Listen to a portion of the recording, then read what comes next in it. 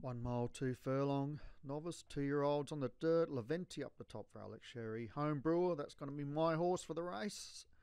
Uh, Tidal Way, Rangefinder Kazim, Honest King Caesar, Field Marshal Taget, um, Ormo, uh, Lycorn Tufty, Mohana, Rosemary Murphy, Paris, Texas at Dorchester, and Anna, Alna Waby, Waby for Shadwell.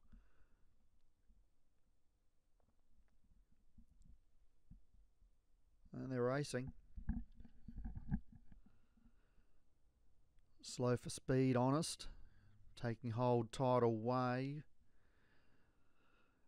Pushing forward on the fence there, we've got the grey Mohana.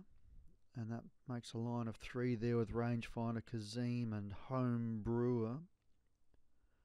Then we've got Leventi, the Dorchester. Paris, Texas. Honest has now kicked up to be just worse than midfield after a slow start.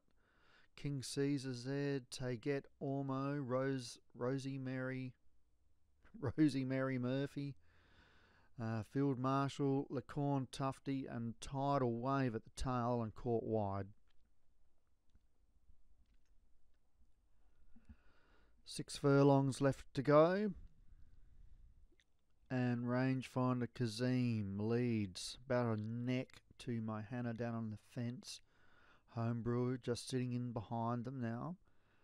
Then we've got a small gap to the Dorchester. Then Paris, Texas, Leventi, Honest, King Caesar out wide. Uh, Alna Waby. Uh, then we got Honest, Taget Ormo as they start rounding this bend here. Uh, Field Marshal is caught wide.